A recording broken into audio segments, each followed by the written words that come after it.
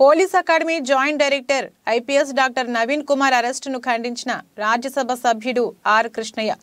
కాచిగూడలో ఆయన నవీన్ కుమార్ కుమారుడు సాహిత్తో కలిసి సమావేశం నిర్వహించి ఆర్ కృష్ణయ్య మాట్లాడుతూ తప్పుడు ఫిర్యాదుతో ఓబీసీ ఐపీఎస్ అధికారిని అక్రమంగా అరెస్ట్ చేశారని నిజాయితీ కలిగిన ఓ ఐపీఎస్ ఆఫీసర్ను ఎలాంటి నోటీసులు ఇవ్వకుండా ఎలా అరెస్టు చేస్తారని ఆయన అన్నారు.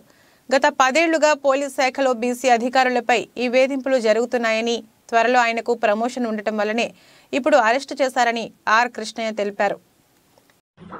నా పేరు సాహిత్ అండి. Doctor B Naveen Kumar IPS son నేను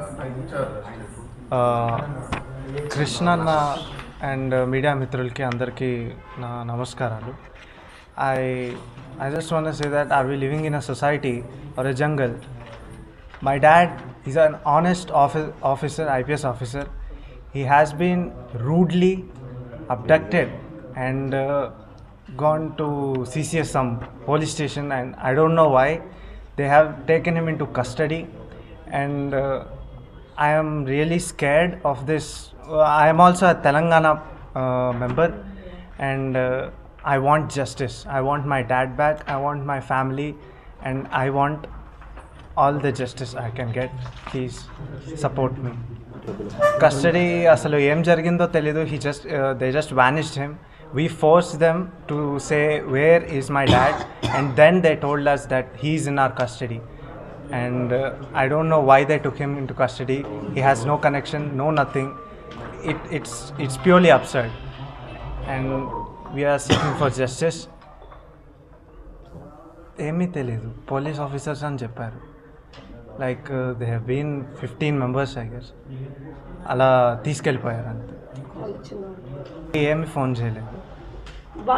ద- తెలిసింది అది. మేము ఫోర్స్ చేసినాము మాకు చెప్పాలి తీసుకెళ్ళారని డీజీపీ కన్ఫర్మ్ చేశారు. అండ్ ఎందుకు కస్టడీ ఎందుకు కేస్? వాట్ ఈస్ దిస్ ఇదొకటి నాకు తెలియాలి. ఒక ఐపీఎస్ ఆఫీసర్ సన్కి ఇట్లా ఇంత భయంకరంగా ఉంటే situation I don't know how normal people gonna get ఇక్కడ న్యాయం ఎట్లా జరుగుతుందో నాకు తెలియదు ప్లీజ్ సపోర్టర్స్ రాష్ట్ర అధ్యక్షులు నిరుద్యోగ జేసీ చైర్మన్. ఈరోజు డాక్టర్ నవీన్ ప్ర- నవీన్ కుమార్ గారు ఐపీఎస్ గారిని అక్రమంగా మఫ్టీలో పదిహేను మంది వచ్చి విధి నిర్వహణలో బంజరాయిల్స్ నుంచి డ్యూటీకి వెళ్తుంటే అక్రమంగా అరెస్ట్ చేయడం అనేది చాలా దారుణం.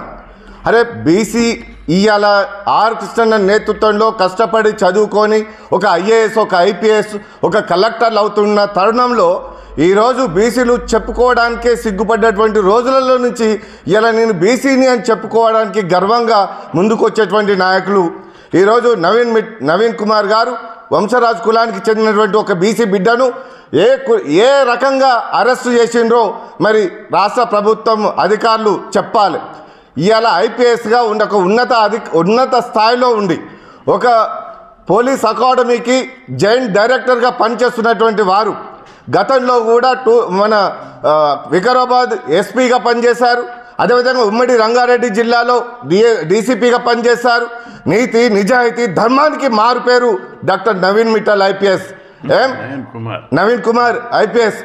ఇవాళ మా బీసీ బిడ్డలు నీతి నిజాయితీగా ధర్మంగా మరి ఉద్యోగ ప్ర- ఉద్యోగంలో మరి ముందుకు వెళ్తుంటే ఇవాళ అగ్ర కులాలు ప్రమోషన్లో వస్తే మా అగ్ర కులాలు బీసీల చేతి కింద నిలబడాలా అని చెప్పి ఒక అహంకార పూరితంతో అక్కడ ఉన్నటువంటి పోలీస్ శాఖలో ఉన్నటువంటి వాళ్ళు అవకతవకలు చేసినా కానీ మరి నవీన్ కుమార్ మీద నింద వేసి అక్రమంగా అరెస్ట్ చేయడం అనేది ఎంతవరకు సమంజసం అని చెప్పి నేను ప్రశ్నిస్తున్నా.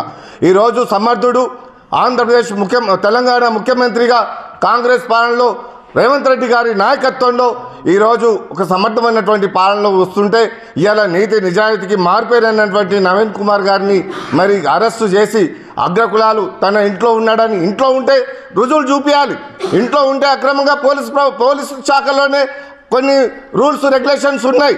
ఏదైనా ఉంటే కూర్చోబెట్టి మాట్లాడాల్సిన బాధ్యత అందరి ఆఫీసర్లకు ఉన్నది. కానీ అంటే బీసీలకు ఎవరు దిక్కు దివానా లేదు. ఎవడంటే ఎవరి మీద అంటే అక్కడ వాళ్ళ మీద అక్రమాల కేసులు పెట్టాలంటే గతంలో చెల్లై బిడ్డ ఇప్పటి నుంచి అగ్ర కులాలకే ఒక్కటే హెచ్చరిస్తున్నాం.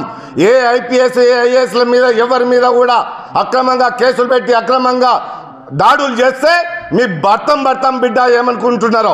ఒక్కొక్కరిని ఏం ఇన్ని రోజులు ఆర్ కృష్ణ గారి నేతృత్వంలో కృష్ణ అంటే ఒక మారుపేరుగా. కృష్ణ అనుచరులుగా ఇవాళ భారతదేశంలో ఉన్న డెబ్బై కోట్ల ప్రజలలో ఎవ్వరికి ఆటంకం ఎవరికి ఆటంకం కలిగించినా ఎవరిని అగ్రకులో వదిలిపెట్టే ప్రసక్తే లేదని చెప్పి హెచ్చరిస్తున్నాం. ఒక విధి నిర్వహణలో ఎవరికి చీమకు కూడా హాని తలపెట్టినటువంటి వాళ్ళు వాళ్ళ సిస్టర్ కూడా ఒక సుప్రీంకోర్టు అడ్వకేట్ ఉన్నటువంటిది. అక్రమంగా అరెస్ట్ చేయడంలో అంటే మీ అంతర్యం ఏంటి? అంటే బీసీలు ఉన్నత పదవులలో ఉండొద్దా? అగ్రకులాలు ఒక్కొక్కరికి ఐదు ఆరు ఎనిమిది శాఖలు ఉన్నాయి. కానీ ఒక ఐపీఎస్గా తన కార్య నిర్వహణలో ఎక్కడైనా లోపం ఉందా? అది అధికారులు పైన ప్రభుత్వం చెప్తుంది. కానీ అక్రమంగా అరెస్ట్ చేయడం ఏంటి? అరెస్ట్లో ఏమైనా ఇన్ఫర్మేషన్ ఇచ్చావా? అరెస్ట్ ఎందుకు చేస్తున్నామని ఒక నిబంధన పెట్టావా? ఏమన్నా ఎలాంటిది కూడా ఇన్ఫర్మేషన్ ఇవ్వకుండా అరెస్ట్ చేయడం ఏంటి?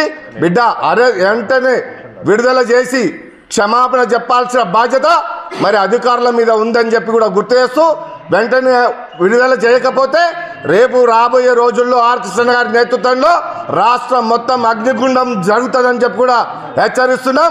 మరి అదో విధంగా దీంట్లో ముఖ్యమంత్రి గారు చొరవ తీసుకొని ఎందుకంటే ముఖ్యమంత్రి గారు సమర్థవంతమైనటువంటి పాలన ఉందని చెప్పి మా బీసీలకు ఒక గు- సాగాఢ సానుభూతి ఉంది. కాబట్టి నమ్మకం ఉంది. కాబట్టి రేవంత్ రెడ్డి గారు దీన్ని సీరియస్గా తీసుకొని బీసీలపై బడుగు బలైన వర్గాలపై దాడిని ఖండిస్తూ వీటి వెంటనే విడుదల చేసి తగినటువంటి అక్కడ ఏదైతే జరిగిందో లోపాలు జరిగినాయో వాటిని సర్దిద్దాల్సిన బాధ్యత అధికారుల మీద కూడా సూచించాలని చెప్పి గుర్తు చేస్తున్నా ఐ ఐపీఎస్ ఆఫీసర్ అయినటువంటి నవీన్ కుమార్ను ఈరోజు ఉదయం పోలీసులే పోలీస్ డిపార్ట్మెంట్ వాళ్ళే చిన్న చిన్న సాకులతోటి ఆయనకు ప్రమోషన్ రావద్దనే కుట్రపూరితంగా కొందరు ఐఏఎస్లు ఐపీఎస్లు కుట్ర చేసి ఆయన అరెస్ట్ చేయడాన్ని ఈరోజు పదమూడు బీసీ సంఘాలు తీవ్రంగా ఖండిస్తున్నాయి. ఆయన పోలీ రంగారెడ్డి పోలీస్ సూపరింటెంట్గా గతంలో పోలీస్ అకాడమీ జైన్ డైరెక్టర్గా డిప్టీ కమిషనర్గా చాలా మంచి ట్రాక్ రికార్డ్ ఉంది. ఆఫీసర్గా ఆయన డ్యూటీ లోపల చాలా మంచి పోలీస్ అధికారిగా ఆయనకు పేరుంది. అట్లాంటి అధికారిని కొందరు ఐపీఎస్ అధికారులు కొందరు ఐఏఎస్ అధికారులు. ఈయనకు ప్రమోషన్ వస్తున్నటువంటి సందర్భంగా ప్రమోషన్ అడ్డుకోవడానికి ఈయన మీద చిన్న చిన్న కేసులు బనాయించి ఆయనను అరెస్ట్ చేసి ఆయనను ఇంతవరకు విడుదల చేయకపోవడాన్ని మేము తీవ్రంగా ఖండిస్తున్నాం. ముఖ్యమంత్రి రేవంత్ రెడ్డి గారు ఆయన పరిపాలన చాలా బాగుంది డెమోక్రటిక్ ఉంది. ఆయన స్ఫూర్తి ఆయన ముఖ్యమంత్రిగానే రాష్ట్ర ప్రజలందరూ. ప్రజాస్వామ్యం వచ్చింది మాకు పూర్తి స్వేచ్ఛ సమ స్వతంత్రాలు వచ్చాయని రాష్ట్ర ప్రజలందరూ ఫీల్ అవుతున్నటువంటి సందర్భంగా మరి ఇట్లా పోలీస్ ఆఫీసర్కే ఈ విధంగా కేసులను ఇరికించడాన్ని బీసీ పైగా బీసీ కులాలకు చెందిన నవీన్ కుమార్కి రక్షణ లేకుండా ఈ విధంగా అక్రమంగా అరెస్ట్ చేయడాన్ని మేము తీవ్రంగా ఖండిస్తున్నాం. ముఖ్యమంత్రి జోక్యం చేసుకోవాలి. చేసుంటే ఇప్పటికీ ఆల్రెడీ వీళ్ళు అనేక కేసులు పెట్టిన వాళ్ళ అన్నదమ్ములు వివిధ సందర్భాలలో కేసులు. ఆ కేసులను మీరు విచారణ జరుపుతున్నప్పుడు కేసుల వైపు కోట్లాలు ఉండగా ఈ విధంగా అరెస్ట్ చేయడం అనేది చాలా సీరియస్ ఇష్యూ. కాబట్టి ముఖ్యమంత్రి గారు జోక్యం చేసుకోవాలి. పోలీస్ డిపార్ట్మెంట్లో గతం లోపల చాలా రోజులుగా బీసీ అధికారులకు నాన్ పోస్టింగు మంచి పోస్టులు ఇవ్వకుండా మంచి స్టేషన్లు ఇవ్వకుండా వేధిస్తున్నారు అక్కడ. ఈ వైఖరిపై ముఖ్యమంత్రి దృష్టి పెట్టి పోలీస్ డిపార్ట్మెంట్ లోపల ఏ విధంగా బీసీలకు అన్యాయం జరుగుతుందో అది చర్య తీసుకోవాలి. ఆల్రెడీ నేను డీజీపీ గారితో ఫోన్లో మాట్లాడినా. ఈ విధంగా ఒక బీసీ ఉన్నత అధికారికి రక్షణ లేకపోతే ఎట్లా? అని చెప్తే నేను తప్పనిసరి అధికారుల ఉన్నతాధికారులతో మాట్లాడి యాక్షన్ తీసుకుంటానని చెప్పి డీజీపీ గుప్తా గారు రవి గుప్తా గారు గారు హామీ ఇచ్చారు. నేను ఇప్పుడు దీనికి హోమ్ మినిస్టర్ లేడు కాబట్టి ముఖ్యమంత్రి గారే స్వయంగా ఆయన చూస్తున్నాడు కాబట్టి జోక్యం చేసుకొని నవీన్ కుమార్ గారికి అన్యాయం జరగకుండా బీసీ అధికారులకు ప్రొటెక్షన్ కల్పించాలని చెప్పి నేను డిమాండ్ చేస్తున్నా. జనరల్గా బీ ఐఏఎస్లో కానీ ఐపీఎస్లో కానీ ఎక్కడైనా సరే బీసీ అధికారులకు బ్యాక్గ్రౌండ్ పొలిటికల్ బ్యాక్గ్రౌండ్ ఉండదు కాబట్టి అన్యాయం చేయడం అనేది సాధారణంగా జరుగుతుంది. కాబట్టి ముఖ్యమంత్రి గారు రాష్ట్రంలో ప్రజాస్వామ్యం ఆ పేద వర్గాలకు స్వేచ్ఛ స్వతంత్రం వచ్చినట్టు రేవంత్ రెడ్డి గారి హయాంలో ఫీల్ అవుతున్నారు ప్రజలందరూ.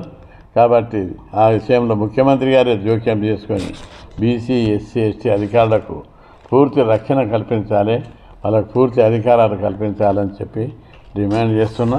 దేనిపత్యంలో పక్షంలో బీసీ సంఘాలన్నీ కూడా పెద్ద ఎత్తున దీన్ని టేకప్ చేస్తారని చెప్పి అందుకే రేవంత్ రెడ్డి గారు దీనికి ముఖ్యమంత్రి గారు స్వయంగా జోక్యం చేసుకొని న్యాయం కలగజేయాలని చెప్పి కలగజేస్తారని ఆశిస్తున్నాం.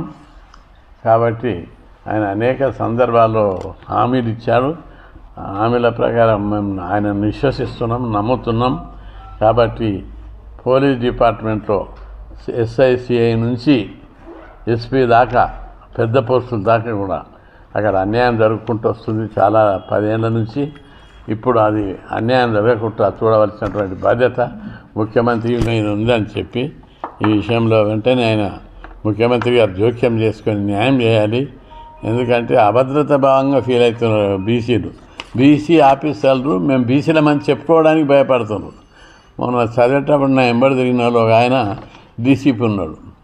గారు బీసీలకు భద్రత కల్పించవలసినటువంటి బాధ్యత ముఖ్యమంత్రి మీద ఉంది. రాజ్యాంగ రక్షణలు ఉన్నాయి బీసీ ఎస్సీ ఎస్టీలకు. కాబట్టి ఆ బాధ్యత తీసుకోవాలని చెప్పి నేను ముఖ్యమంత్రి గారికి విజ్ఞప్తి చేస్తున్నాను.